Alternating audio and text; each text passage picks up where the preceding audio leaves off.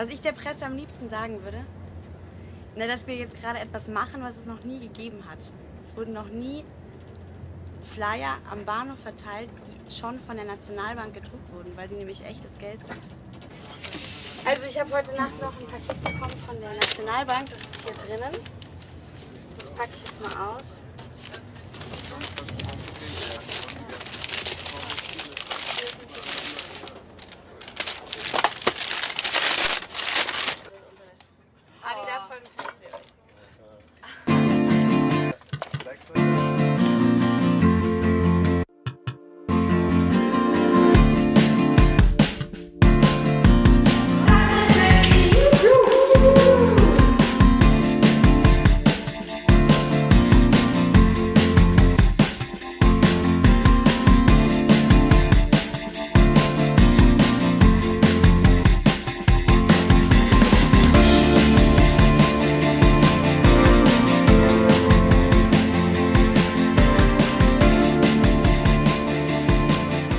Ein echter 10-Frankenschein.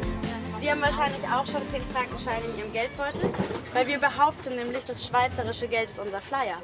Und jeder Schweizer Bürger hat unseren Flyer schon dabei. Warum es mir gut geht?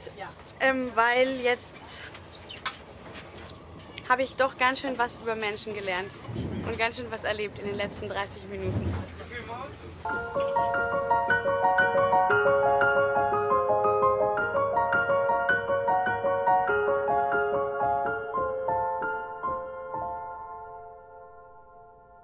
Música